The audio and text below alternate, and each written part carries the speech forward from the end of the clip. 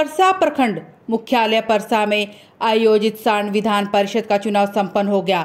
निर्वाची पदाधिकारी प्रशांत कुमार ने बताया कि प्रखंड के तेरह पंचायतों में 217 वोटरों में कुल 206 मतदाताओं ने मताधिकार का प्रयोग किया।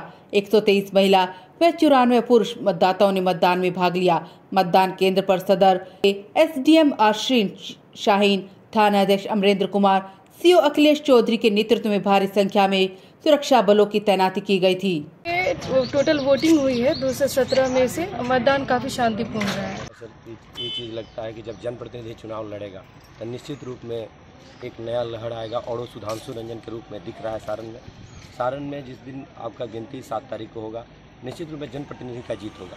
और जनप्रतिनिधि के हक और अधिकार की लड़ाई को हम लोग सफलतापूर्वक जीत कर और सदन में रखने का कार्य करेंगे। Thank you.